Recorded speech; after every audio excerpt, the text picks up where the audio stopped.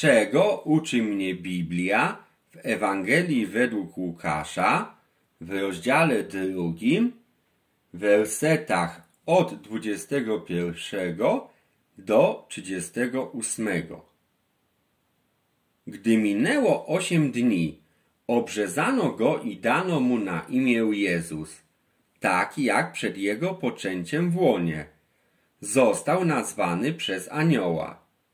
A gdy wypełniły się dni jej oczyszczenia według prawa Mojżesza, przynieśli go do Jeruzalem, aby przedstawić go Panu, jak napisano w prawie Pana.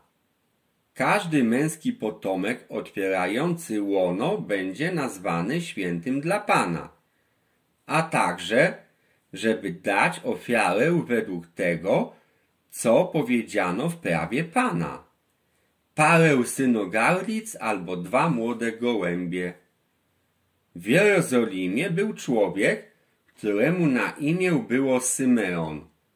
Człowiek ten był sprawiedliwy i pobożny, oczekujący pociechy Izraela, a Duch Święty był na nim. Zostało mu bosko przekazane przez Ducha Świętego, że nie umrze, zanim nie zobaczy Chrystusa Pana. Ten przyszedł z natchnienia Ducha Świętego do świątyni. Gdy rodzice wnosili dziecię Jezus, aby uczynić z nim według zwyczaju prawa, wziął go na swoje ręce i chwalił Boga. Teraz puszczasz swojego sługę, Panie, według Twojego słowa, w pokoju, gdyż oczy moje oglądały Twoje zbawienie, które zgotowałeś przed obliczem wszystkich ludów. Światłość dla objawienia poganom i chwałę ludu Twojego Izraela. Jego ojciec i matka dziwili się temu, co o nim mówiono. Błogosławił im Symeon i powiedział do Marii, jego matki. Oto ten jest ustanowiony na upadek i na powstanie wielu w Izraelu i na znak, przeciwko któremu będą mówić. Twoją własną duszę przeniknie miecz. Myśli wielu serc zostaną objawione. Była tam też Anna prorokini, córka Fanuela, z plemienia Asher, która była bardzo podeszła w latach, a żyła siedem lat z mężem od swojego panieństwa. Ta była wdową do osiemdziesięciu czterech lat i nie wychodziła ze świątyni. W postach i w modlitwach służąc Bogu, w nocy i we dnie. Ta też w tym czasie stanęła obok, chwaliła Pana i mówiła o nim wszystkim, którzy oczekiwali odkupienia w Jeruzalem. Chociaż Syn Boży narodził się z niewiasty i podlegał zakonowi, czytamy o tym w liście do Galacjan w czwartym rozdziale i czwartym wersecie. Lecz gdy nadeszło wypełnienie czasu, zesłał Bóg Syna swego, który się narodził z niewiasty i podlegał zakonowi.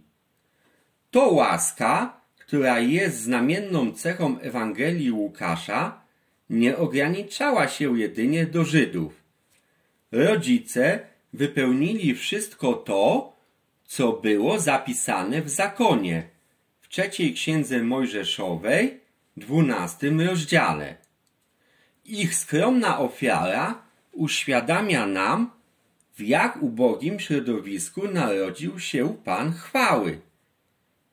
I mamy tu odnośnik do drugiego listu do Koryntian, ósmego rozdziału i dziewiątego wersetu. Albowiem znacie łaskę Pana naszego Jezusa Chrystusa, że będąc bogatym, stał się dla was ubogim, abyście ubóstwem Jego ubogaceni zostali.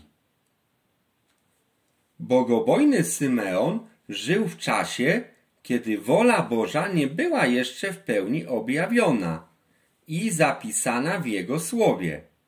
Symeon był jednak prowadzony i pocieszany przez Ducha Świętego. Jak wielki kontrast występuje pomiędzy opisem w wersecie 27 i 29. Rodzice naszego Pana postępowali według zakonu. Zakon nie był jednak w stanie dać człowiekowi upragnionego pokoju i odprawić go z błogosławieństwem. Musiał przyjść ten, który przez swoją śmierć wykupił nas od przekleństwa zakonu. Czytamy o tym w liście do Rzymian ósmym rozdziale i trzecim wersecie. Albowiem czego zakon nie mógł dokonać, w czym był słaby z powodu ciała, tego dokonał Bóg przez zesłanie Syna swego w postaci grzesznego ciała, ofiarując je za grzech. Potępił grzech w ciele. Duch Święty otworzył Symeonowi oczy, tak, że mógł zobaczyć znacznie więcej niż inni Żydzi. W wersecie dziesiątym czytamy, że anioł powiedział Zwiastuję wam radość wielką, która będzie udziałem wszystkiego ludu. Symeon widzi zbawienie przed obliczem wszystkich narodów. Werset 31.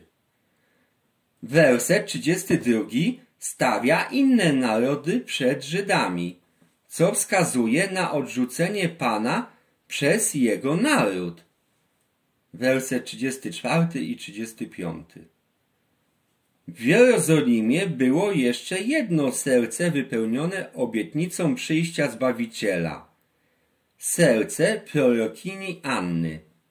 Także i ona mogła zobaczyć na własne oczy tego, który był dla niej wszystkim.